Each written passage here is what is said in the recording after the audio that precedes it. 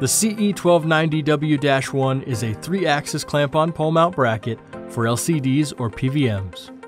This mount fits poles with diameters ranging from 1 and 3 16ths to 2 and 1 8 inches in diameter. It can also be used with square tubing ranging from 7 8 to 1 and 1 2 inches in size. When installed, this mount positions the monitor approximately 5.5 inches away from the pole.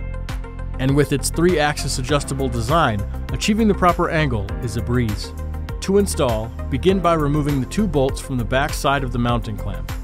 Next, hold the front of the mounting clamp to the pole and reattach the back side of the clamp with the two Allen head bolts.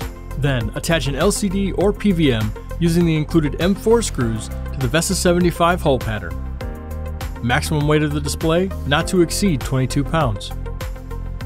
Finally, to adjust the angle of the mount, remove the adjustment caps and loosen the bolts with the included 14mm wrench. After achieving the desired angle, tighten the bolts to lock the bracket in place. The CE1290W-1, a 3-axis adjustable wall mount bracket for professional CCTV installations.